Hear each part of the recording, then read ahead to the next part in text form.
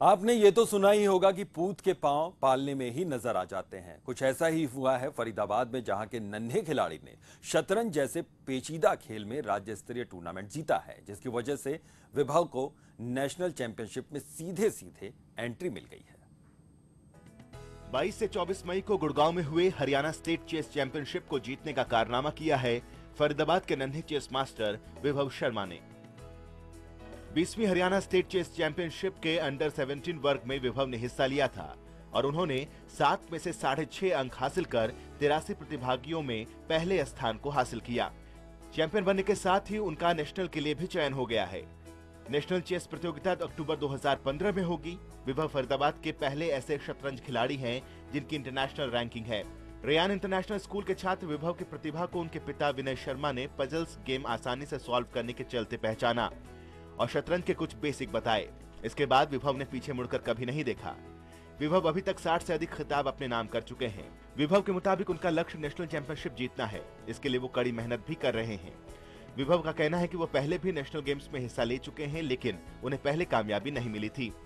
बीसवीं हरियाणा शतरंज स्टेट प्रतियोगिता थी। इसमें क्या कहते हैं, करीबन साढ़े चार सौ बच्चे आए हुए थे। और मेरी कैटेगरी में कम से कम 250 बच्चे थे। जिसके अंदर मेरी सबसे हाईएस्ट रेटिंग थी इंटरनेशनल और मैंने फ़र्स्ट टेबल पे खेल के सारे गेम जीते और फ़र्स्ट प्राइज लिया है। ये गेम कब से कब तक चली? ये प्रतियोगिता क्या कहते हैं 22 22 से 24 मई तक चली थी। तो इसमें आपका कौन सा अंक आया और क्या रैंक मैं इसमें प्रथम स्थान पे था और मेरे को फ़र्स्ट प्राइज मिला है और अब मैं नेशनल के लिए सिलेक्ट हुआ नेशनल गेम कब है और कहाँ पर है ये इसका ये अभी डेट फिक्स नहीं हुई है। अभी ये ऑनलाइन साइट्स पे आएगा एआईसीएफ पे। उस पर हम देख के बताए। विभव की माँ जिया शर्मा का कहना है कि उसकी इस जीत में विभव की मेहनत के अलावा उसके पूरे परिवार का साथ है।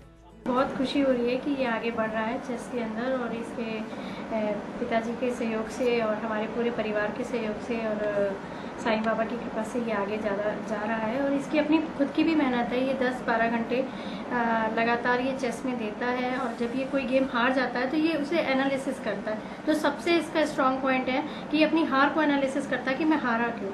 इसीलिए ये नेक्स्ट टूर्नामेंट में ये जीत जाता है। अब क्या आगे इसकी भावना है इसकी आगे कैसे देखिए अभी तो इसका मन है और हमारा भी हमारी भी इच्छा है कि ये ग्रैंड मास्टर बने।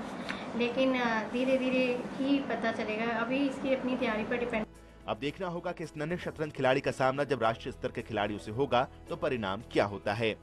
फोकस हरियाणा के लिए फरीदाबाद से सुधीर शर्मा की रिपोर्ट।